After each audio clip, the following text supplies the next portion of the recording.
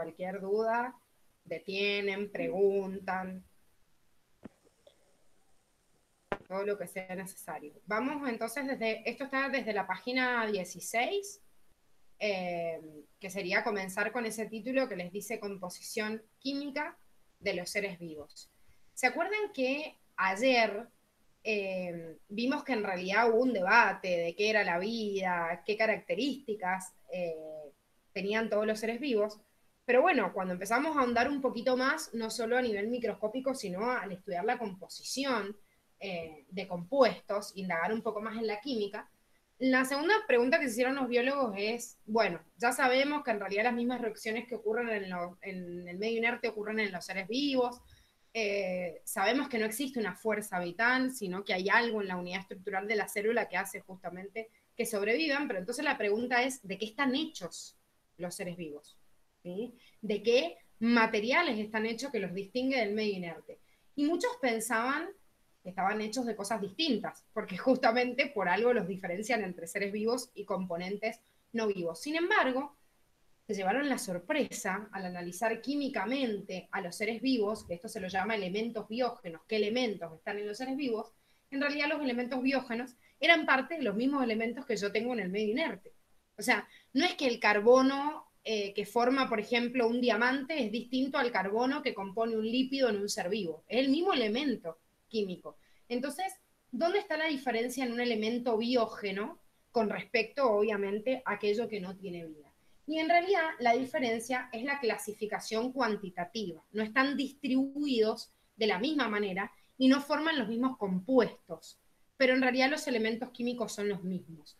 ¿Cuáles son estos elementos químicos básicos que cuantitativamente forman a los elementos biógenos? Se los clasifica por la cantidad, por eso es cuantitativa, en primarios, secundarios y oligoelementos para que nos demos una idea, si bien Curtis les dice los elementos primarios ocupan aproximadamente un 98%, los secundarios están ocupando casi el 2% restante, porque en realidad los oligoelementos ocupan menos de un 1%. Están en ínfimas cantidades. Pero ojo, esto es una clasificación cuantitativa, no cualitativa. O sea, aunque el yodo, por ejemplo, que tienen acá es un oligoelemento, que es muy sencillito, no quiere decir que no sea re importante. O sea, es sumamente fundamental para el ser vivo y si me falta un poquito de este yodo, puede ocasionar, por ejemplo, una patología que se llama bocio. No sé si alguna vez la han escuchado. Es una persona que tiene síntomas como un hipotiroideo, pero es porque le falta en la comida esta cantidad de yodo necesario. Y es un elemento ínfimo pero ayuda a sintetizar las hormonas tiroideas y las hormonas tiroideas tienen efecto en todas las células de nuestro cuerpo. Entonces, me falta un elemento que ocupa menos, o sea, un porcentaje ínfimo, pero me falta y listo, y me falla todo el sistema. Entonces, esta es la cantidad, pero importantes son todos. Los elementos que tienen acá señalizados están con su nombre del elemento químico. Para los que no recuerden química o no hayan tenido química en la secundaria, obviamente no se preocupen porque en química apenas vean tabla periódica van a ver todos estos símbolos. Se los voy a decir acá, pero igual en el cuadernillo lo tienen escrito. ¿Cuáles voy a considerar como elementos primarios? Oxígeno, carbono, hidrógeno, nitrógeno, calcio y fósforo. La mayoría de los compuestos de los seres vivos están formados entre estos elementos, nada más. ¿Cuáles considera Curtis como elementos secundarios? Potasio, azufre, sodio, cloro, magnesio y hierro. Y dentro de estos oligoelementos me dan como ejemplo yodo, cobre, manganeso, cobalto, zinc y molibdeno. ¿Son los únicos? No, chicos, existen más también, pero son los ejemplos que me toma la FACU porque son los que figuran obviamente en la bibliografía de Curtis. Como estos son elementos y están formados, los elementos químicos están formados por su unidad básica, que es un átomo, cuando los átomos se reunían, ¿qué formaban? Moléculas. Moléculas, o sea, que las moléculas o macromoléculas y complejos de macromoléculas son distintos tipos de compuestos, que ya desde la química se dividen en compuestos inorgánicos y en compuestos orgánicos. Esta clasificación que es bastante vieja la hicieron porque la palabra orgánico viene de organismo. Entonces dijeron, bueno, lo que yo encuentro en los organismos le pusieron el nombre de orgánico, e inorgánico no tiene origen en los organismos. Pero ojo, que el inorgánico no tenga origen en el organismo no quiere decir que no esté en el organismo. De hecho, el agua es el compuesto inorgánico más abundante en el planeta, pero también en los seres vivos. El 65 al 70% del peso corporal de todos los seres vivos está formado por agua, incluso en algunos más. Por ejemplo, en un tomate el 95% de su masa corporal es agua, o sea que es un compuesto inorgánico, pero forma parte de la mayor cantidad de masa del organismo. Igual, ¿de qué está formado el agua? De... ¿Cómo está formado? ¿Cómo de qué está formado? Hidrógeno. hidrógeno y dos moléculas de oxígeno. Con el oxígeno. Bien, hidrógeno y oxígeno, fíjense, oxígeno y hidrógeno están dentro de los elementos primarios. Es más, todos estos compuestos que ven acá, lípidos, proteínas, ácidos nucleicos, hidratos de carbono y muchas de otras moléculas orgánicas, como vamos a ver, como vitaminas, como distintos pigmentos, son moléculas orgánicas que de forma básica son cadenas carbonadas que están formadas por carbono, oxígeno e hidrógeno. Algunos aminoácidos de las proteínas o ácidos nucleicos también tienen nitrógeno, tienen fósforo, o sea que esta es la distribución en elementos, pero después cuando los elementos se unen y forman compuestos, yo los distribuyo de esta manera. No es la única clasificación que existe, chicos, es la clasificación que les da Curtis, así que es por lo menos la que vamos a tener en cuenta. No solo el agua, sino que cualquier elemento que ande, por ejemplo, por la sangre, cuando yo consumo sal, por ejemplo, que la sal es cloruro de sodio, fíjense que el cloro y el sodio están dentro de los elementos secundarios, es una sal que cuando va por sangre rápidamente se ioniza, se separa. Entonces forma parte de los sólidos minerales que yo tengo flotando, por ejemplo, en la sangre. Pero también, qué sé yo, el hueso está formado por un mineral que se llama hidroxiapatita y es un fosfato de calcio. Entonces, tiene fósforo, tiene oxígeno, tiene calcio y forma parte de los sólidos minerales. ¿sí? Todos estos son compuestos formados por esos elementos químicos que nombramos recién, que forman parte justamente de los elementos biógenos. Em, no vamos a ver los sólidos minerales y otros compuestos porque estos sólidos en la nutrición lo vamos a ver en digestivo, pero sí vamos a describir a la familia principal de estos compuestos orgánicos, que son los lípidos, proteínas, ácidos nucleicos, hidratos de carbono, porque son tan fundamentales en las funciones, en la estructura de los seres vivos, y la vamos a nombrar tanto ya de la unidad que empezamos la semana que viene, que es célula, que necesitamos presentárselos. Ojo, no se asusten, porque el que no recuerde o no haya visto química hace mucho, de repente es mucha información desde la parte química y uno por ahí ni sabe o ni se acuerda lo que es un enlace covalente o lo que significa que esto sea hidrofílico, hidrofóbico. Necesito presentárselos, lo necesitamos desde la unidad que viene, pero sepan que química orgánica recién la van a ver en la unidad 5 en química y yo no puedo esperar hasta esa unidad para presentarles cosas que vamos a usar desde ahora. Entonces lo presentamos, lo debatimos, lo vemos en todas las otras unidades, lo volvemos a repasar en digestivo y después hacemos también talleres de integración con las otras áreas para que cuando lo vean en química puedan incorporar ese conocimiento nuevamente, ¿sí? Así que a prestar atención, a tener idea de los ejemplos, que me suenen los compuestos, pero si hay algo que no terminan de entender porque no recuerdan nada en química, no se preocupen porque lo van a volver a ver. Todos estos compuestos orgánicos, que por eso se llamaban orgánicos, que venían de los organismos, tienen una cadena carbonada. O sea que el protagonista de este compuesto orgánico es el carbono. El carbono que me abraza a distintos elementos. Cada carbono tiene cuatro bracitos. Esto obviamente en química lo van a ver correctamente y van a ver por qué forman enlaces de tipo covalente. Cuatro tipos de enlaces. Yo le voy a llamar bracitos. Tienen cuatro manos para extender y enganchar a otro elemento. ¿sí? Cuatro cada carbono. Eso quiere decir que cada carbono va a tener cuatro rayitas que vamos a representar como esos bracitos para unirse a distintos elementos y compartir sus electrones, formando cadenas fuertes y estables. Por eso son la estructura básica de todos los compuestos orgánicos. Y van a adquirir funciones distintas de acuerdo a sus grupos funcionales. Por eso una proteína, por más de que es una cadena carbonada, no es igual que un lípido, que también es una cadena carbonada, porque justamente tiene grupos funcionales distintos, entonces tiene propiedades distintas. ¿Hasta acá vamos bien? Sí, sí. Bien. Vamos entonces a la primera familia de estos compuestos. Esta familia la vamos a presentar como hidratos de carbono, pero sepan que la palabra hidratos de carbono, carbohidratos, glúcidos y azúcares son todos sinónimos. Significan lo mismo, ¿sí? Porque a veces Curtis se los pone de una forma, a veces de otra, entonces por ahí nos confunde. Es lo mismo. ¿Qué hace un hidrato de carbono? Un hidrato de carbono es una fuente primaria de energía. ¿Es la única función que tiene? No, pero es la principal. O sea que cuando yo necesito nafta para llevar a cabo cualquier movimiento, a lo primero que le echo mano es a un azúcar. ¿Sí? Por eso, en la dieta nuestra diaria, el 60% de los nutrientes sólidos que tenemos que incorporar, porque sabemos que si no incorporamos agua, chao, nos fuimos para el otro lado porque nos deshidratamos, pero de los compuestos sólidos, el 60% que metemos son glúcidos. ¿Por qué? Porque es la fuente de energía primaria. ¿Vieron que ayer cuando vimos metabolismo había un dibujito en donde salía en catabolismo, en anabolismo, por ejemplo, en catabolismo una cadena de pelotitas que estaban representadas en colores, que cuando la degrado obtengo una unidad chiquitita, y en anabolismo al revés, de esa unidad chiquitita a una grande que es como una cadenita. ¿Se acuerdan de eso? Sí. sí.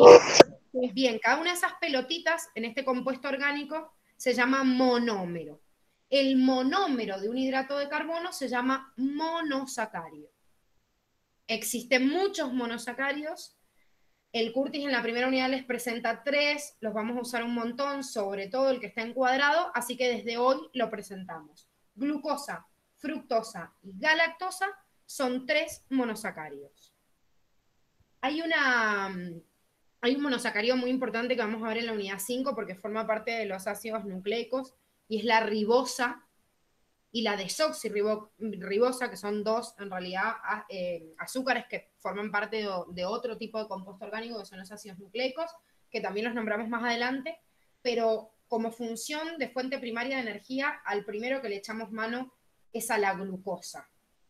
La glucosa, antes de volver a esta imagen, es una cadenita carbonada, como dijimos recién, que tiene seis carbonos, que los vemos acá, unidos con átomos de oxígeno y de hidrógeno.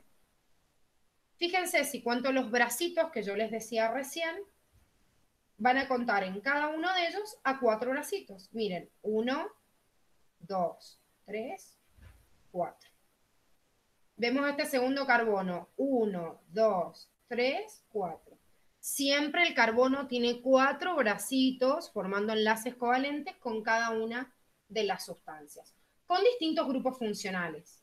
Ahora, vieron que acá este, este, mm, esta combinación entre el oxígeno y el hidrógeno, que también lo van a ver en química, se llama oxidrilo. Vieron que acá, por ejemplo, esta cadena de glucosa tiene en este carbono 2 un oxidrilo, en el carbono 3 uno para un lado, otro para el otro. No tienen la misma estructura. Esto, de que esté para un lado o para el otro, no da lo mismo. ¿Por qué no da lo mismo? Porque si yo veo la fórmula química de esta glucosa, veo que en carbonos hay seis. Uno, dos, tres, cuatro, cinco, seis. Si cuentan los oxígenos, también van a encontrar seis. Y si cuentan los hidrógenos, van a encontrar 12. Los monosacáridos que, por ejemplo, yo les presenté recién, fructosa y galactosa, tienen la misma fórmula, sin embargo, son monosacáridos distintos. Eso quiere decir que no solo me importa esta fórmula, sino cómo estén distribuidos. Y no solo cómo estén distribuidos como cadena, sino que este compuesto, que es una cadena, en las soluciones acuosas, o sea, en el agua disuelto, se une el carbono 1 con el 6 y me forma este anillito que ven acá.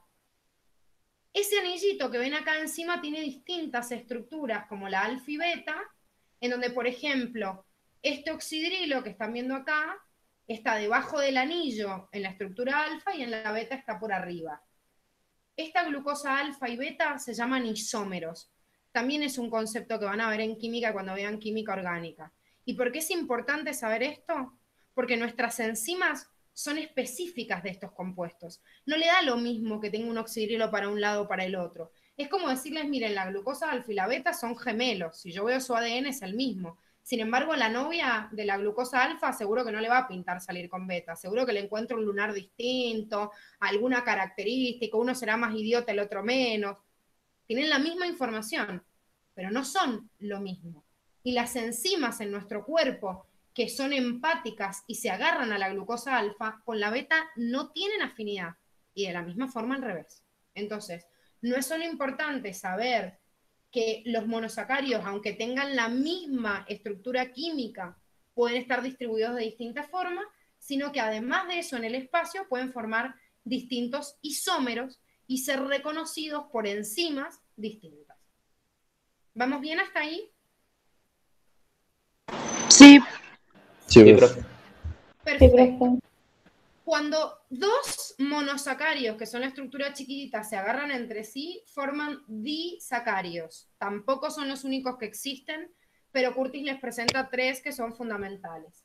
Sacarosa, lactosa y maltosa.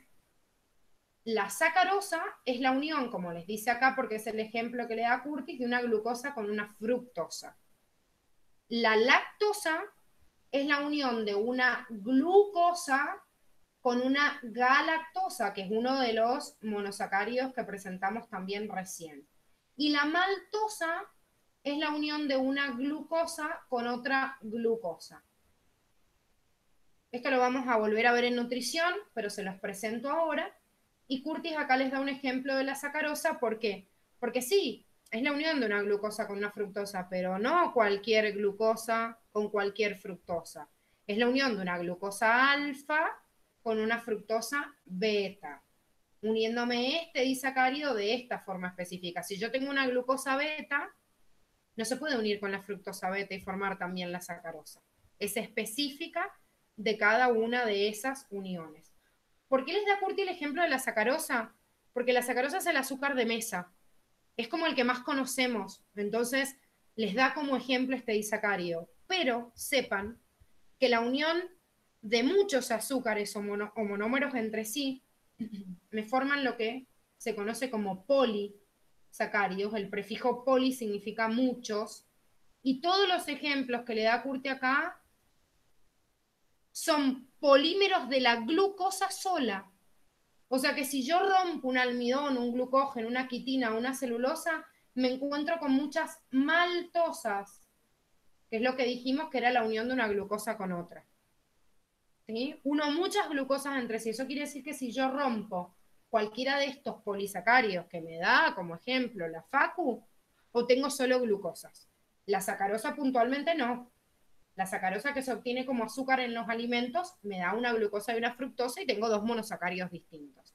Sin embargo, hay veces que puedo romper una cadena y obtener un solo monosacárido, como me pasa justamente con el caso de estos que me da de ejemplo la FACU. ¿Por qué me da ejemplo esto es la Facu? Porque son los más conocidos. El almidón es un polisacárido de origen vegetal. ¿Vieron que cuando cortan la papa, que es un tubérculo dentro de un vegetal, ven ese líquido medio lechoso, blanquecino? ¿Se ubican? Sí. Se les quedan hasta, les quedan hasta las manos manchadas. Bueno, eso blanco que se ve ahí es el almidón. Los vegetales almacenan azúcar en forma de almidón. Nosotros no. Nosotros cuando queremos almacenar azúcar lo hacemos en forma de otro polisacárido que se llama glucógeno. El almidón y el glucógeno, los dos, son cadenitas de glucosa, pero no están unidos de la misma forma. Por ende no son lo mismo químicamente y por eso los separamos. El animal, o sea, nosotros, almacenamos glucógeno y no almidón. ¿Dónde lo almacenamos? Nuestras células de almacenamiento de azúcar son los hepatocitos, que son las células del hígado. Me sobra azúcar, la meto al hígado. A veces cuando me sobra mucho azúcar y el hígado ya está saturado, lo almaceno en el músculo. O sea que nuestras células musculares eh, almacenan glucógeno al igual que el hígado, pero no todas las células almacenan glucógeno. Las demás nada más meten glucosa cuando la necesitan y si no, le piden mano a la sangre y sacan la glucosa que anda flotando, pero quien lo almacena va a ser únicamente el hígado y el músculo. Ahora, hay otros polisacáridos que ni siquiera lo encontramos en organismos determinados. Por ejemplo, la quitina que también es un polisacárido nada más que tiene unido, además del carbono, el hidrógeno y el oxígeno, tiene unido nitrógeno. Por eso decimos que es un polisacárido nitrogenado. Forma parte de la pared estructural de los hongos y están algunos animales, como los artrópodos, formando el exoesqueleto, pero por ejemplo nosotros no tenemos quitina. Es, una, es un polisacárido duro, bastante sólido, un polisacárido justamente estructural. ¿Vieron cuando, cuando pisan las cucarachas que hace ese crujido hediondo? Que hace como... Es como muy feo. Ese crujido que le sienten al bicho cuando lo aplastan es porque estoy rompiendo su exoesqueleto de quitina. Dentro de los artrópodos tengo a todas las arañas, a todos los insectos, por eso les doy el ejemplo de la cucaracha, que es uno de los más comunes. Algunos tienen menos cantidad y no se siente tanto, pero ese crujido es por ese exoesqueleto que tienen eh, los artrópodos de esta sustancia. Y por último vamos a presentar un polisacario también muy importante porque está en la pared celular de todas las plantas y de algunas algas también, que es la celulosa. Acá hay un ejemplo muy importante en Curtis y quiero que lo tengan muy presente, porque en realidad ya se los nombra acá como un enlace entre una glucosa beta, que es el que vamos a ver en la imagen, y el que yo encuentro en la celulosa, en donde cada una de estas unidades que ustedes están viendo acá, algunas están, digamos, para arriba, otras para abajo, pero cada una de estas es una glucosa beta. ¿Por qué digo que tienen un enlace 1,4? Porque se unen desde el carbono 1 de, la, de una hacia el carbono 4 de la otra. Acá tengo otra glucosa beta que otra vez se une desde el carbono 1 al 4. Eso significa glucosa beta unidas por enlace 1,4. Urtis les da ejemplo nada más de esta, de la celulosa. Pero quiero que sepan algo muy importante, porque lo vamos a retomar después el glucógeno, por ejemplo, o el almidón, que son sustancias que nos sirven a nosotros como nutrientes, en vez de ser una glucosa beta, es una glucosa alfa, también con el enlace 1,4. ¿Por qué es tan importante esto? Porque nosotros, todos los animales, no solo nosotros, no tenemos ni una enzima en el cuerpo que pueda romper este enlace. Ni una. Quiere decir que todos los vegetales que nos comemos no podemos degradarlos. Nosotros solos no tenemos enzimas para hacerlo. Tenemos que crear una simbiosis con bacterias, que se llaman bacterias celulósicas, para que nuestro intestino nos ayuden a cortar estos enlaces, si no, no habría forma de obtener nutrientes. Por eso fíjense que los rumiantes, que son vegetarianos, tienen cuatro estómagos, unos intestinos larguísimos, porque me cuesta un montón cortar este enlace, porque no lo hacemos nosotros lo hacen esas bacterias. Por eso, esta celulosa se acumula en el intestino y en nutrición le llaman fibra. Vieron que cuando uno dice si comemos muchos componentes vegetales es fibra que retiene agua y ayuda a evacuar, ayuda a limpiar el intestino, todo lo que quieran, pero no podemos degradarlo de forma fácil. Por eso los eh, animales que son carnívoros tienen un intestino cortito y los herbívoros tienen un intestino mucho más largo. Por eso las personas que son vegetarianas y veganas, cuando empiezan a ser vegetarianas y veganas, necesitan un tiempo hasta acostumbrar a su intestino a esta nueva alimentación, porque nosotros por naturaleza somos omnívoros y el tamaño de nuestro intestino está preparado para digerir algunos compuestos de carne animal y los vegetales con esta asociación simbiótica. Entonces, como todo, tenemos que hacer una adaptación, porque no tenemos las enzimas para degradarlo distinto cuando el enlace 1,4 es de una glucosa de tipo alfa, que es la que está, por ejemplo, en el glucógeno. ¿Estamos bien hasta acá? Sí, profe. Sí. Perfecto, vamos a pasar entonces a la otra familia de compuestos orgánicos que son los lípidos. Los lípidos no son como los azúcares, son una familia así como ensamblada. Eh, no vienen de la misma familia y todos sus monómeros son iguales, sino que son una familia que vienen de compuestos distintos, que químicamente a veces no se, no se corresponden, eh, no son parecidos, pero tienen algunas características que los unifican. Por ejemplo, todos rechazan y odian al agua. Entonces, en los lípidos comparten muchas funciones gracias a esta naturaleza hidrofóbica, que así se le llama el término, en el cual yo digo rechazan al agua, Entonces, quizás químicamente no son iguales, pero son una gran familia ensamblada que responden a algunos patrones importantes. Y además de eso, la mayoría son almacenadores de energía, aunque algunos pueden funcionar como estructurales o mensajeros químicos. De esa gran familia, nosotros vamos a presentar a dos principales. No son las únicas, pero los demás no los van a ver en este pre, sino que lo van a ver en el primer año de la facultad dentro de bioquímica. ¿Cuáles son estas dos grandes familias? Los triglicéridos, que responden a un patrón de acá y hay algunas moléculas modificadas, y los esteroides. Dentro de estos triglicéridos, que son los que vamos a presentar acá, triglicérido significa, glicérido viene de glicerol, que es un alcohol orgánico, y tri de tres ácidos grasos que se unen a este glicerol. O sea, de forma básica, un glicerol sería esta molécula que ven acá, que es un alcohol de tres carbonos, y los ácidos grasos son cada una de estas ramitas que vemos acá. Eso es triglicérido. Un glicerol, tres cadenas carbonadas. Ahora, estas cadenas carbonadas pueden ser saturadas o insaturadas o no saturadas. ¿Qué significa esto? Que los enlaces químicos son simples o dobles. Y obviamente otros simples, porque no es que sean todos dobles. Vieron que yo les dije el carbono tiene cuatro bracitos. Si el carbono en sus cuatro bracitos se une con cosas distintas, decimos que todos sus enlaces son simples. Y la molécula de un ácido graso saturado me queda así, como una estructura rígida, formada, así como en filita india, muy recta, que físicamente, al estar muy pegaditas entre sí, están en el estado sólido y forman lo que en la nutrición conocemos como grasas y que son abundantes en los compuestos animales.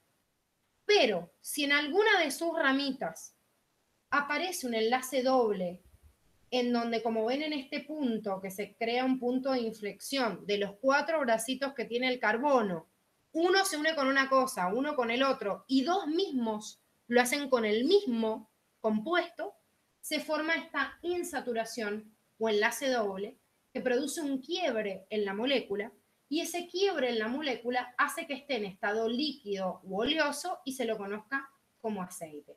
Generalmente esto lo encuentro en los vegetales más que en los animales. No se tienen que perder en esto, en que un mismo triglicérido, como lo tienen acá representado, un mismo triglicérido puede tener como esto, que están viendo acá en el 1, que es un ácido graso saturado. En cambio acá, esto que ven acá son insaturaciones, ya sea que tenga una, dos, diez, las que sean. Esto, que es el ácido graso 2 y el 3 que están representados en esta imagen, son insaturados. ¿Por qué? Porque presentan estos dobles enlaces. Entonces, un mismo triglicérido puede tener ácidos grasos que estén saturados o insaturados. Mientras los triglicéridos tengan mayor cantidad de insaturaciones, más líquidos van a ser. Y mientras tengan más saturaciones, más sólidos van a ser. ¿Vamos bien? Estamos. Bien. Bien, estos triglicéridos pueden ser modificados.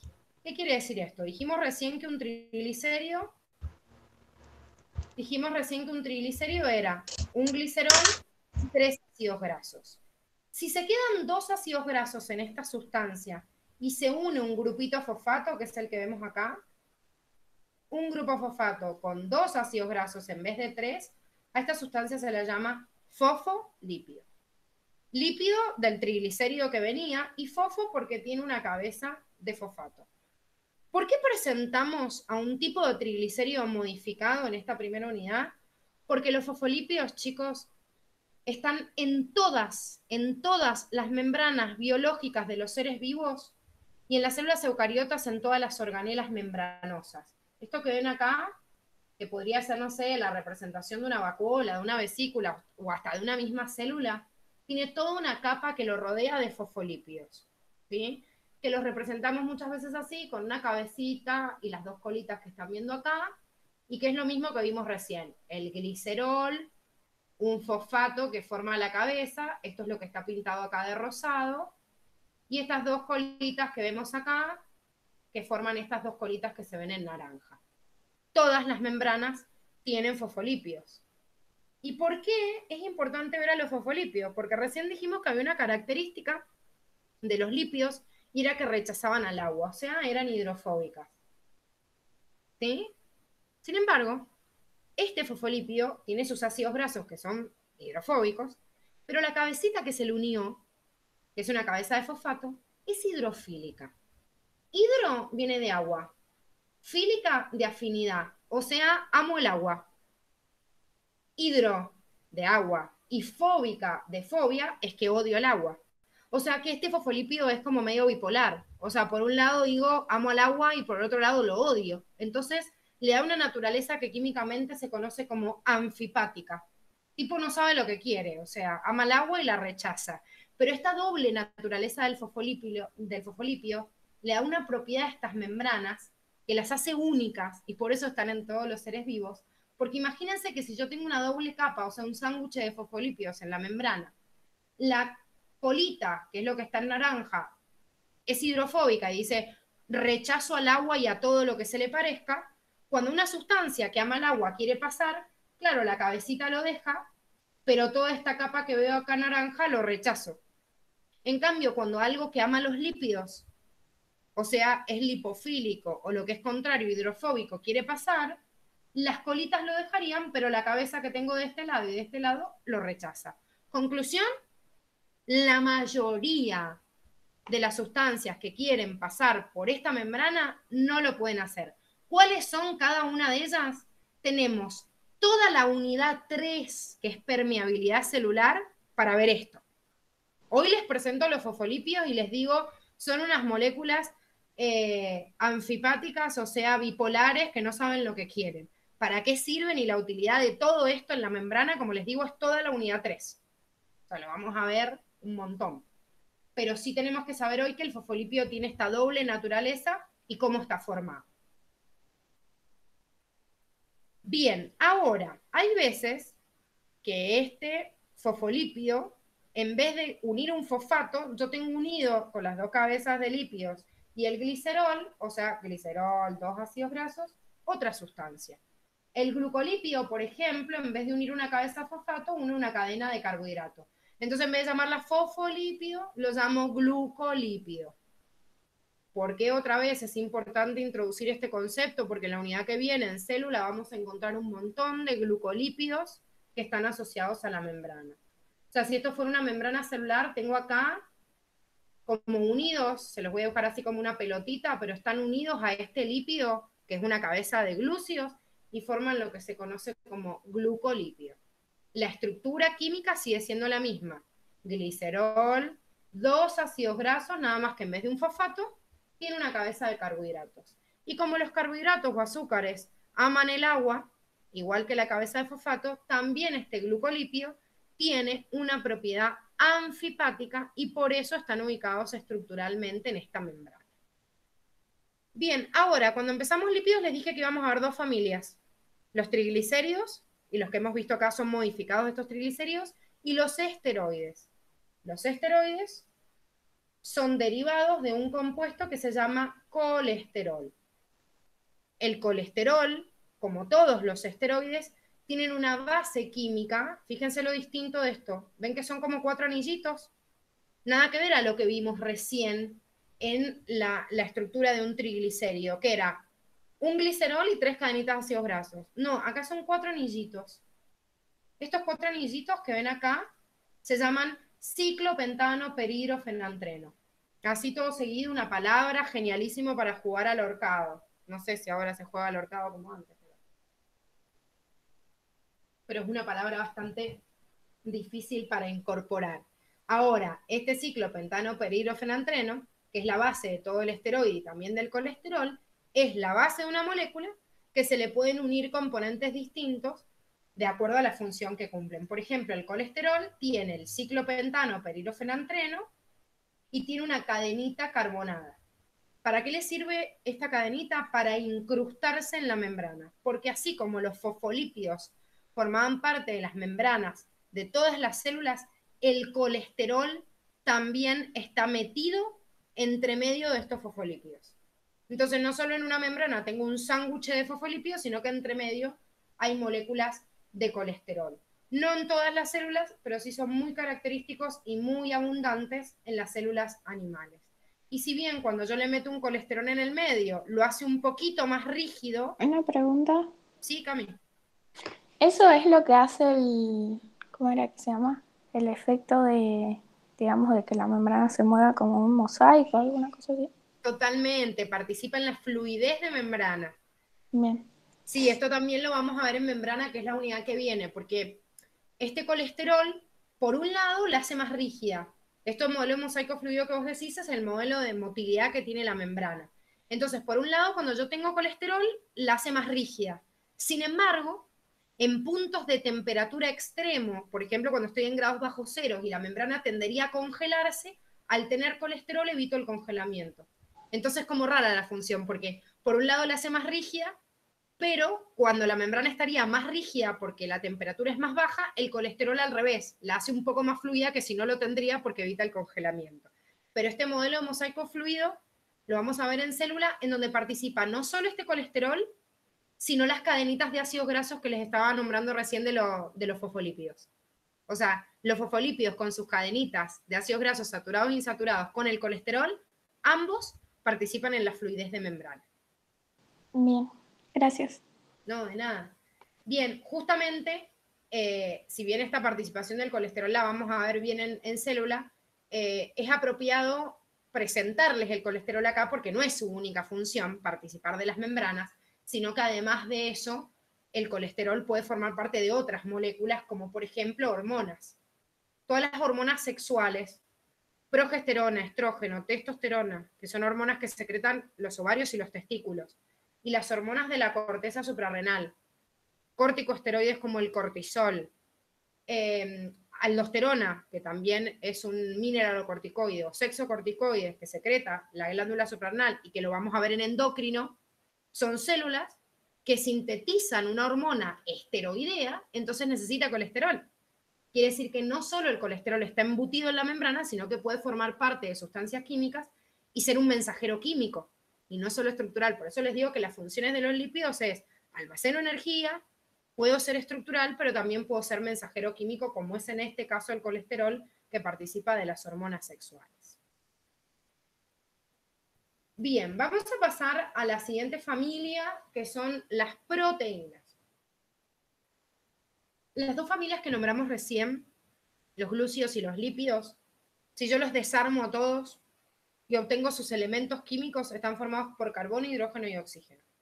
O sea, pueden tener algo agregado, como recién vimos la quitina es un polisacárido nitrogenado y la unión nitrógeno, pero básicamente están formados por esos tres. Las proteínas, en cambio, son sustancias que sí o sí están formadas por carbono, por hidrógeno, por oxígeno, pero tienen sí o sí nitrógeno.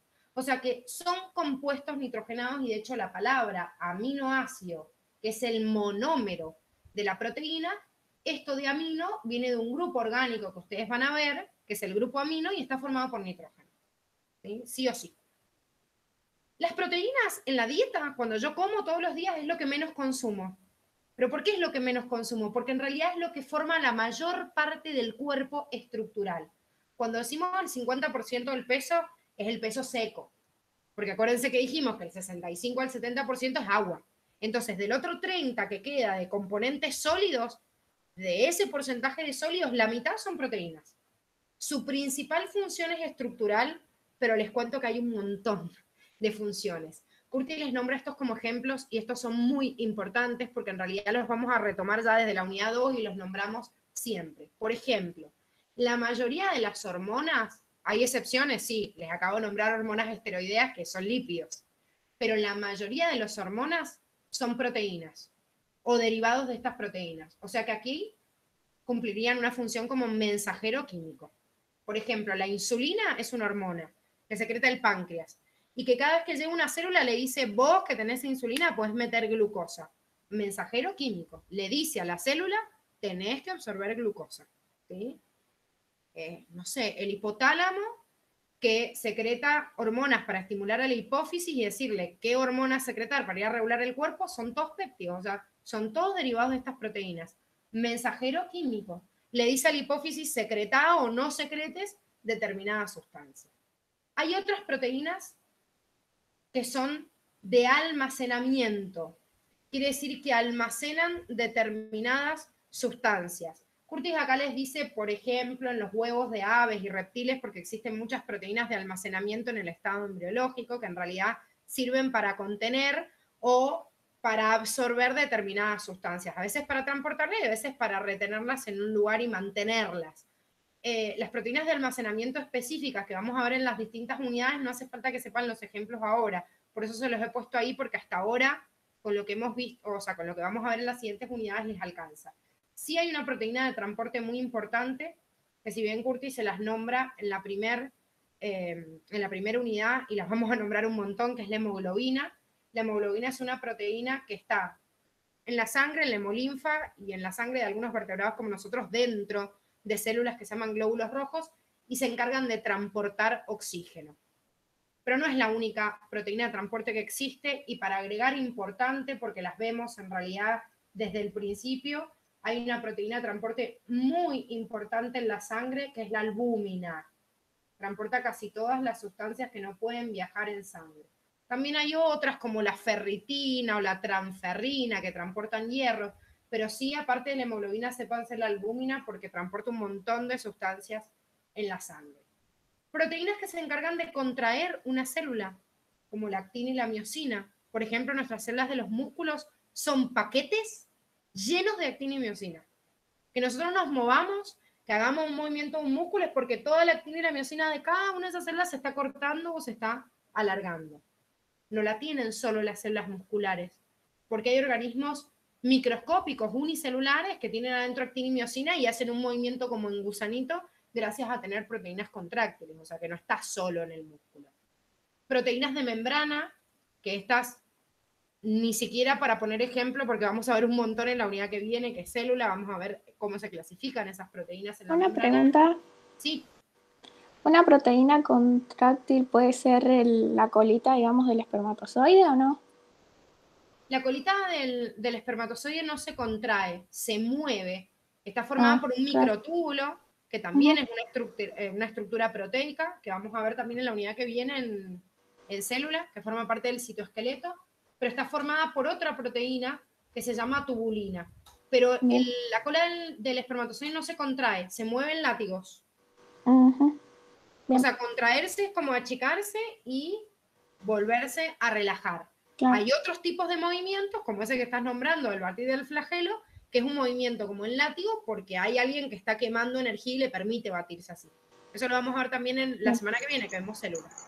Dice, las proteínas contráctiles son la de los músculos. No están solo en los músculos, pero sí, la de los músculos es la más abundante.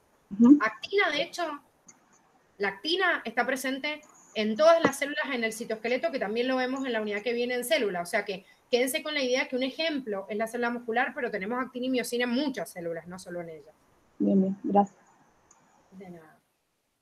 Bueno, y estructurales que forman parte de algunos tejidos específicos como la queratina, el colágeno, el colágeno, para que sepan, chicos, en nosotros es la proteína más abundante. O sea, yo digo, el 50% del peso seco del cuerpo es proteína. Bueno, si este 50% quiero ver de todas las proteínas que existen en el cuerpo, que son miles y miles, ¿cuál es la más abundante? Es el colágeno. Así que imagínense lo importante que es. Es una proteína de resistencia.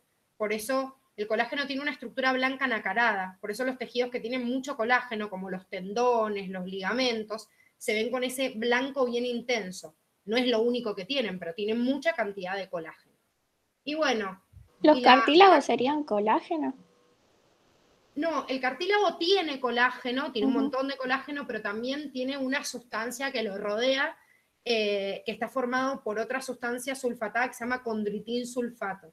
Ah. O sea que igual la estructura blanca, la mayor cantidad de blanco que ves también es colágeno, pero además de eso se ve como brillante, no nacarado, se ve brillante y como acuoso, porque tiene mucho condritin sulfato que hidrata el tejido. Ah, bien, gracias. No, de nada. Y bueno, y la queratina, chicos, es re común, vieron que a nivel, a nivel de cremas y peluquería, por ahí en vez de escribirla con Q, la escriben con K, pero es lo mismo. La queratina es una proteína muy abundante en células epiteliales, entonces está presente en toda nuestra epidermis, en el pelo, en las uñas, por eso vienen un montón de cremas para el pelo, de cremas para la cara y todo que tienen queratina, porque es una proteína estructural de ese tipo de tejido. ¿sí? Que también vamos a ver ejemplos y dónde está ubicado cuando veamos el tejido epitelial. Bueno, y como protagonistas de función de las proteínas, las enzimas, chicos. Las enzimas son todas proteínas y son catalizadores biológicos. Eso quiere decir que son capaces de intervenir en una reacción. Lo más común es que aceleren esa reacción, pero por eso les puse capaces de acelerarlas. Pero ojo, porque catalizador biológico significa poder posibilitar una reacción o impedirla. Generalmente las reacciones espontáneas son más comunes que dentro de los seres vivos. Entonces, la verdad es que la mayoría de nuestras enzimas sirven para acelerar una reacción. ¿Qué quiere decir esto? Por ejemplo, yo me como un pedazo de carne y lo dejo en el estómago. Más o menos mi, estómago con las enzimas que lo empiezan a degradar se demora en el proceso de digestión y de ahí que pasa el intestino unas 2 a 4 horas hasta que yo pueda digerir sus nutrientes. Si yo no tendría las enzimas necesarias para digerir ese pedazo de carne, quizás lo metería en el estómago y estaría cuatro años más o menos y todavía no se podría digerir. Para que ustedes se den una idea la importancia de estas enzimas. Hay enzimas por todos lados porque nosotros dijimos que éramos un conjunto de reacciones químicas y todas las reacciones químicas en nuestro cuerpo son posibilitadas por las enzimas, por estos catalizadores biológicos, ¿sí? Estas características, las enzimas, como unidades de las proteínas, y esto es importante, nunca forman parte de los productos finales. Eso quiere decir que la enzima me permite que un compuesto se degrade en otro, pero no quiere decir que van a formar parte del compuesto final. O sea, que participan, es como que median la reacción, pero no forman parte de la reacción final y por eso no se desgastan. Y esto de que sean altamente específicas es muy importante. Por eso yo les decía recién que por más de que la glucosa alfa y la glucosa beta sean eh, como gemelos, tienen la misma estructura, la enzima que se agarra a, una, a un compuesto y no al otro, no le da lo mismo. Por eso son altamente específicas. Y además de eso, se pueden activar. ¿Qué quiere decir esto? Que yo puedo tener una enzima en el cuerpo que esté como un precursor inactivo, que se lo llama simógeno, proenzima o preenzima, y quiere decir que yo lo puedo liberar a la circulación de esta manera y hasta que no se activa no cumple su función. Por ejemplo, nuestras células del estómago liberan una proenzima que se llama pepsinógeno. El pepsinógeno está ahí dentro del estómago y no hace nada. Hasta que el estómago no se vuelve un ámbito ácido, ese, esa proenzima, que es el pepsinógeno, no se transforma a pepsina. Y hasta que el pepsinógeno no se transforma a pepsina, no actúa en la degradación por ejemplo, en este caso de proteínas.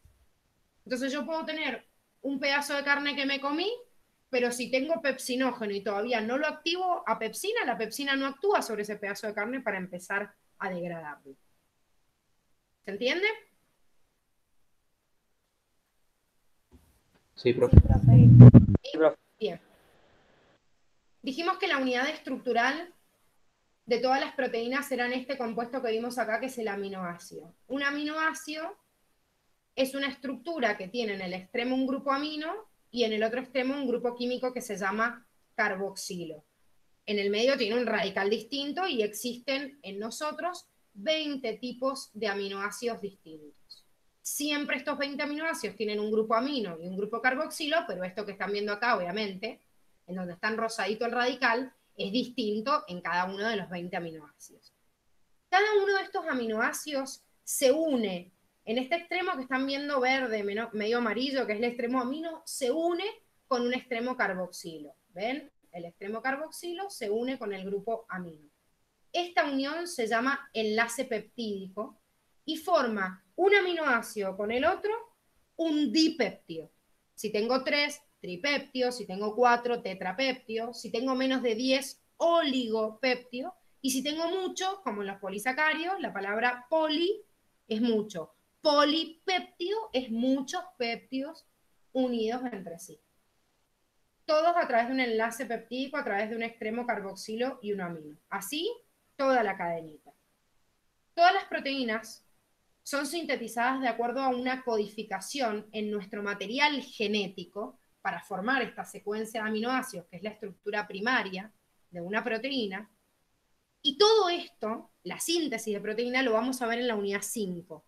O sea, en la unidad 5 vamos a ver cuáles son los 20 aminoácidos, cómo se unen uno al lado del otro y cómo forman, a través de estos enlaces peptídicos, una cadenita que se llama estructura primaria de la proteína. ¿sí? Esto lo codifica el ADN. Pero la verdad es que la proteína como una cadena nada más no me sirve, porque en el espacio tridimensional las cadenas polipeptídicas a veces no cumplen con su función específica y se van complejizando, o sea, enroscándose entre sí, formando estructuras que se llaman secundaria, terciaria y cuaternaria.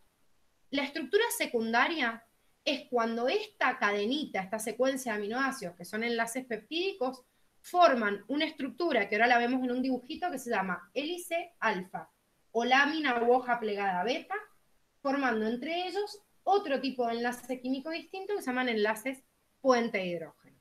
Cuando estas hélices alfa o láminas plegadas en beta se agrupan en un circulito, en una pelotita que se llama estructura globular o en un fideíto, o sea, estirado como fibrilar, a través de las interacciones entre sus radicales, le llamo estructura terciaria. Y cuando muchas de estas pelotitas globulares o fibrilares forman distintas estructuras en varias asociaciones polipeptídicas, la llamo estructura cuaternaria. Fíjense, cada uno de estos que ven acá es un aminoácido la unión de un aminoácido con el otro me forma la estructura primaria, ¿sí? Cadena polipeptídica con enlaces peptídicos entre sí. Estructura primaria. Estructura secundaria. Puente de hidrógeno, que es esto que ven acá con puntitos, acá, acá, o lo ven acá en estas estructuras así, forman hélice alfa o lámina beta. La hélice alfa se vería así. ¿Vieron como una espiral? En cambio, la lámina plegada en beta es así como se ve ahí, una hoja en zigzag. ¿Vieron como las cortinas corredizas? Que son así planas, pero tienen como ese pliegue y se pueden abrir como un acordeón o cerrar. Esa es la estructura de una hoja plegada en beta. En cambio, la hélice alfa es como una, un resortito. Esa es la estructura secundaria. Cuando esta hélice alfa o lámina plegada, sí. Eh, ¿En qué varía si es alfa, o, em, perdón, hélice alfa o plegada. no, no, no, para determinadas estructuras que yo necesito, el ADN de nosotros dice para la proteína que va a formarme, por ejemplo, un canal específico en la membrana, tiene que tener la estructura de hélice alfa. O sea, todo esto está codificado en el ADN. Hay proteínas que en el citoplasma de la célula van plegando esto en un hélice alfa o en una lámina plegada. No es que lo deciden ellos y se arma el tuntún. Está todo codificado genéticamente. Ah, ok. La genética me dice, esta proteína que yo necesito tiene una estructura en hélice o en lámina y después esta estructura en hélice o en, lámina plegada forma la estructura terciaria, que es la más común, porque la terciaria me forma una estructura general. Esto que acá se los han dado como un enrosque, cuando yo veo la proteína toda entera, hay dos formas principales de estructura terciaria, que son la proteína globular, que es como un circulito, una esferita, y la estructura fibrilar que es como un bastón. Entonces, a la vez, cada una de estas puede ser una colección de láminas plegadas eh, en beta o hélices alfa que me formen esta estructura, por ejemplo, eh, globular o esta estructura en forma fibrilar. Cada una de estas proteínas tiene una estructura específica. Por ejemplo, la queratina, que nombrábamos recién, o el colágeno, son proteínas de este tipo, fibrilar. Sin embargo, la actina, que les nombré recién, que era una proteína contráctil, es de este tipo, es una proteína globular. Cada una de las proteínas tiene una codificación de su estructura primaria, secundaria y terciaria. Y cuando se unen muchas de estas estructuras terciarias entre sí, me forman algunas proteínas que tienen estructura cuaternaria. Por ejemplo, la hemoglobina, que también la nombramos recién porque es una proteína de transporte, es una proteína de tipo cuaternaria. Son cuatro pelotitas entre sí o sea, cuatro proteínas globulares que se unen entre sí y tienen eh, hierro en el medio para unir el oxígeno. Entonces, esta hemoglobina alcanza la estructura cuaternaria. Depende del tipo de proteína, el tipo de estructura que tiene. Por ejemplo, la actina no tiene una estructura cuaternaria. O sea, lo que hace en realidad la actina es formarse como en un collarcito de perla y formar una actina fibrilar que sería como todo el conjunto de pelotitas entre sí, pero no forma una unidad estructural como estructura cuaternaria, sino que son muchas pelotitas unidas entre sí. Todo esto, chicos, está codificado genéticamente. La estructura de cada proteína, ni siquiera las van a ver todas, o sea, hay un montón que las van a ver cuando entren en la facultad, pero por lo menos la estructura de varias de las proteínas, cuando ustedes vayan encontrando en el cuadernillo, por ejemplo, la unidad que viene célula, van a leer y van a decir, lactina, que forma parte del citoesqueleto, es una proteína de tipo globular. Bueno, cuando me digan globular, yo ya sé que me está hablando de una estructura terciaria de una proteína.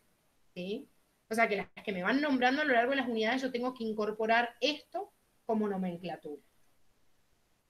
Bueno, los nucleótidos, que son los últimos compuestos que vamos a ver, son el cuarto grupo de moléculas orgánicas que nosotros vemos y que forman parte de dos compuestos muy importantes que se encargan principalmente de transmitir información genética, que son el ADN y el ARN. Sin embargo, hay una molécula, un nucleótido solito, no una cadena, sino un nucleótido solito, que es el ATP, que no solo eh, es importante dentro de los nucleótidos porque no forma parte de la información genética, sino que es la moneda energética más importante del organismo, o sea, el almacenador de energía más importante y por eso lo vemos aparte. Pero cualquiera de ellos, el ADN, el ARN o el ATP como nucleótido solo, son tipos de nucleótidos. El nucleótido es un compuesto complejo que tiene un compuesto inorgánico que es el grupo fosfato, está formado por fósforo y por oxígeno.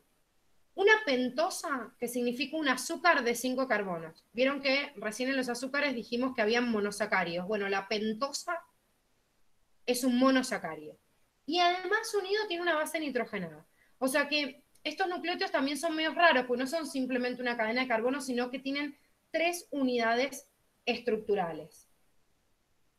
Pentosa en el medio, grupo fosfato que se le une y una base nitrogenada que en este caso tienen un ejemplo que es la adenina. Existen distintas bases nitrogenadas, cinco principales, que también la vamos a ver un montón en ácidos nucleicos, que es la unidad 5, pero ya tenemos la base de, me voy a encontrar, base nitrogenada, pentosa y grupo fosfato como unidad básica de cualquiera de estos nucleótidos. Ahora, hay diferencias obviamente entre este ADN y entre este ARN, en donde las pentosas, que es el azúcar este del medio, no es el mismo, algunas bases nitrogenadas pueden variar, y se van a formar en cadena también de forma distinta. Porque mientras que la ARN, acá están las siglas en inglés, pero es lo mismo, RNA, ¿sí? Forma una cadenita simple. ¿Ven? Esto que ven acá son nucleótidos. Entonces, una cadena forma el ARN, en cambio en el ADN se forma una cadena doble. ¿Ven? Acá hay una cadena y tiene otra cadena empalmada del otro lado enlazándose. Entonces, mientras que el ADN es un ácido nucleico de cadena doble, el ARN es de cadena simple. ¿De qué está formado? ¿Cómo se unen? Y el enlace de cada uno de estos, como les digo, lo vamos a ver todo en la unidad 5. Nos vamos, vamos a arrancar describiendo encima la historia de cada uno de estos ácidos nucleicos. Así que vamos a tener como para entenderlo bien, ver por qué acá hay un 5 y acá un 3, que me habla del extremo 5 y 3 prima. Bueno, todas estas cosas obviamente las vamos a analizar. Lo único que les presentan acá es el azúcar, esta pentosa, que estamos representando como un pentágono acá en el medio, que en el ARN es la ribosa, o sea, en este ARN se llama ribosa y de ahí viene su nombre, ácido ribonucleico. En cambio, en el ADN, en ese azúcar hay una desoxirribosa y por eso se llama ADN, ácido desoxirribonucleico. ¿Sí? Los tipos de bases nitrogenadas y cómo se unen y todo, como les digo, lo vamos a ver adelante, más adelante. Pero sí vamos a presentar el ATP, porque si bien el ATP es un tipo de nucleótido, yo recién les dije que en una cadena, fíjense, tenían una ribosa, una base nitrogenada y un grupo fosfato. Pero la verdad es que los nucleótidos a veces pueden tener dos fosfatos y a veces pueden tener tres. El ATP es un nucleótido que tiene tres fosfatos, por eso se llama ATP. Significa trifosfato de adenosina. ¿Por qué adenosina? Porque tiene adenina unido con el azúcar. ¿Y por qué trifosfato? Porque tengo tres grupitos fosfatos. Esto que ven acá O sea, este fosfato nunca se separa de este azúcar. Pero estos dos que vemos acá, este enlace de acá y este enlace de acá, se pueden romper.